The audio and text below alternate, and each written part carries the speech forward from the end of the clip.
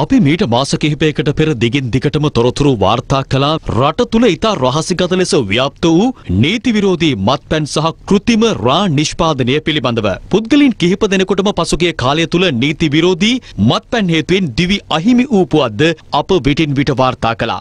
කෙසේ වෙතත් රටේ විවිධ තොරතුරු පිළිබඳව අවධානය යොමු වෙද්දී නීති විරෝධී මත්පැන් නිෂ්පාදනය, මද්‍රව්‍ය ජාවාරම සහ නීති විරෝධී කෘතිම රා නිෂ්පාදනය ඇතුළු කටයුතු හොර රහසේ ජාවාරම්කරුවන් සිදු කරගෙන යන බවට මේ වන විට යලි යලි තොරතුරු ලැබමින් පවතිනවා. ඊට ආසන්නතම සිදුවීමක් අපට වාර්තා වන්නේ කොච්චිකඩේ පාසල් මාවත ඕවිටියාවත්ත ප්‍රදේශයෙන්.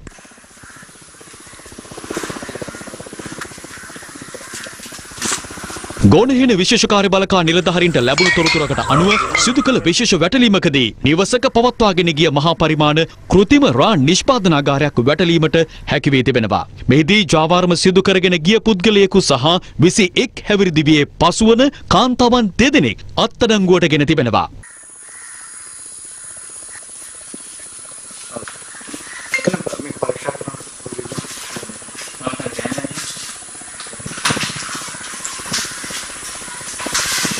වැටලීමේදී ශරීරයට විශ්ව සහිත ඇමෝනියා ඇතුළු කෘතිම රා නිෂ්පාදනයට යොදා ගන්නා අමුද්‍රව්‍ය රැසක්ද සිය බහරයට ගැනීමට ආරක්ෂකංශ සමත් වුණා. පසුගිය මාස 31 වෙනිදායින් අදාළ ස්ථානය සඳහා ලබා දී තිබූ බලපත්‍රය අහෝසි වුවත් සැකකරුවන් එම බලපත්‍ර නීතිද උල්ලංඝනය කරමින් එම ස්ථානයේ කාලයක පටන් කෘතිම රා නිෂ්පාදනය කොට ඇති බවටයි වැටලීම සිදු කළ විශේෂ කාර්ය බලකා නිලධාරීන්ට දැන ගැනීමට හැකි වුණේ. මෙම ස්ථානයට කිලෝමීටර් කිහිපයක් ආසන්නේ පොලිස් ස්ථානයක්ද පිහිටා තිබෙන බව අප වාර්තාකරුවන් පැවසුවා.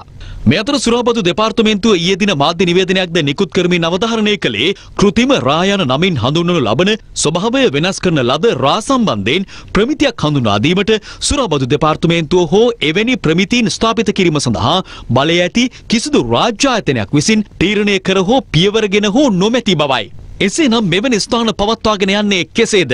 එවැනි නීති විරෝධී ආකාරයට බලපත්‍ර නීති පවා උල්ලංඝනය කරමින් සිදු කරන මෙම ජාවාරම් මැඩ පැවැත්වීමට සුරාබදු දෙපාර්තමේන්තුව මීට වඩා දැඩි අවධානයක් යොමු කරමින් අවශ්‍ය නම් අදාළ නීති රීති පවා වෙනස් කරමින් ක්‍රියා කිරීම මැදිහත්වීම අවශ්‍ය නොවන්නේද?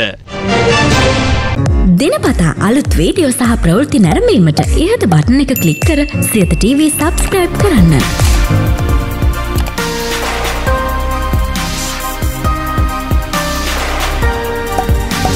වීඩියෝ ගැන මුලින්ම දැනගන්න මෙම සීනුව ක්ලික් කරන්න.